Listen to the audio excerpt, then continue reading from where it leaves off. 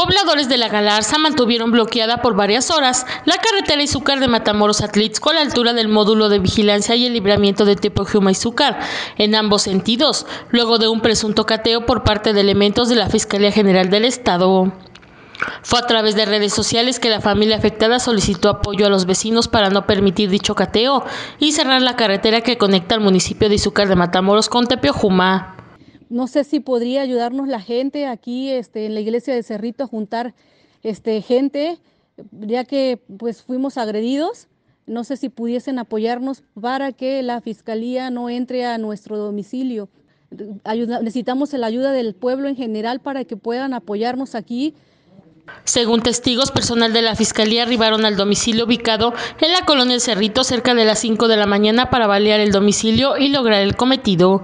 Durante el cateo, la familia afectada denunció violencia física a un adulto mayor, sustracción de electrodomésticos, dinero en efectivo, cámaras de vigilancia y la detención de una joven de 23 años de edad. Por su parte, el gobierno de Izúcar de Matamoros informó que derivado de las acciones de la Fiscalía de Puebla, en Izúcar de Matamoros, un grupo de la sociedad civil autodominado Fuerza Territorial decidió cerrar la carretera Izúcar de Matamoros Puebla a la altura de la Galarza e hicieron un llamado para que el diálogo y el interés común se anteponga sin lastimar el resto de las y los ciudadanos en su derecho al libre tránsito, más aún cuando nos encontramos en medio de una situación de alerta por la intensa actividad del Popocatépetl. Por otra parte, Osvaldo Ramírez Zavala, titular de la Fiscalía de Investigación Regional, habló sobre los resultados de los cateos realizados hace unas horas en Izúcar de Matamoros, aunque no abundó sobre el caso anteriormente mencionado.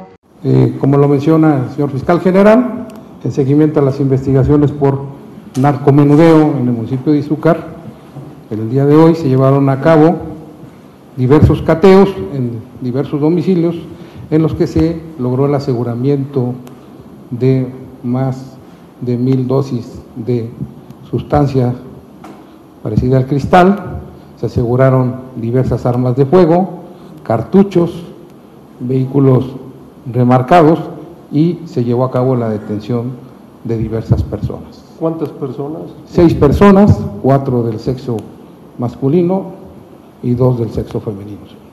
Así es. Gracias, fiscal. Reportó para STV Atlixco Brenda Jiménez.